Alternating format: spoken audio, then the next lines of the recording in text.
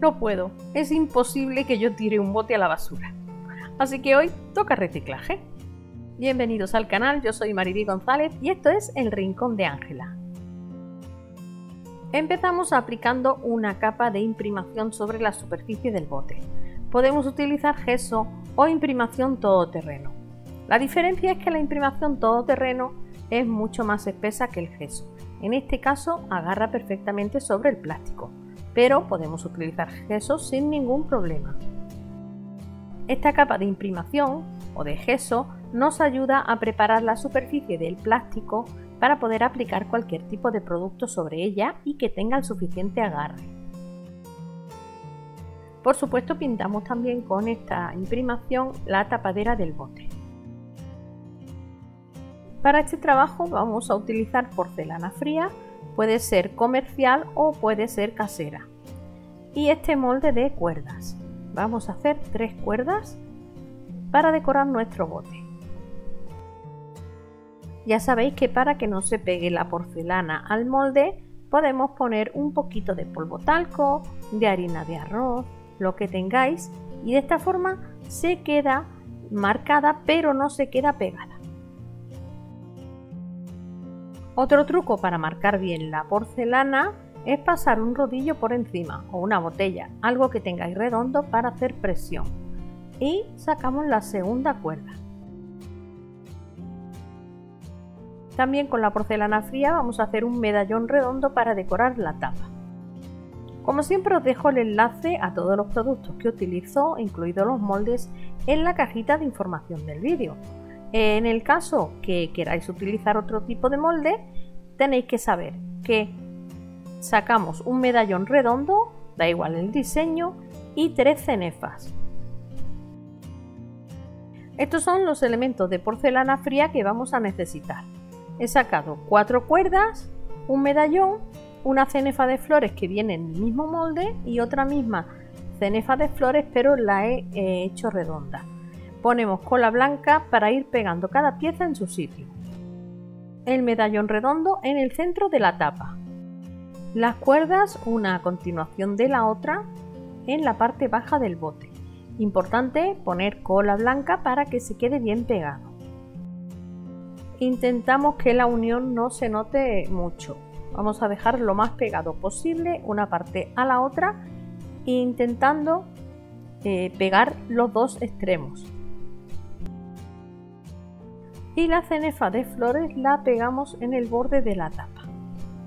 Vamos a pegar una a continuación de la otra. Ya tenemos toda la porcelana fría colocada. ¿Queréis esperar a que seque? Es mucho mejor, pero podemos trabajar también con la porcelana húmeda teniendo cuidado de no aplastarla.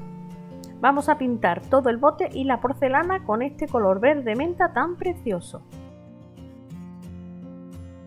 Y la tapadera también la pintamos con el color verde menta. Muy importante pintar todos los ranuras y todos los recovecos que tiene la porcelana fría. No nos dejemos puntitos blancos que quedan muy feos. Ya se ha secado la pintura y ahora vamos a realizar una técnica de envejecimiento. Necesitamos pintura marrón muy aguada, es decir, más agua que pintura y toallitas de bebé. Vamos a ir aplicando esta mezcla de pintura con agua y retirándola con una toallita húmeda de bebé. De esta forma se quedan, digamos, eh, manchadas o envejecidas las zonas más profundas de la porcelana.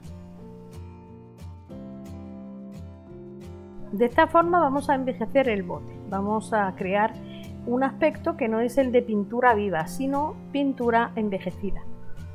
Y por supuesto, lo hacemos también en el cuerpo del bote, en la tapa y en el cuerpo. Es importante que metamos el pincel con el marrón por todas las ranuras ya que esas ranuras tienen que quedar más oscuras que el resto del bote.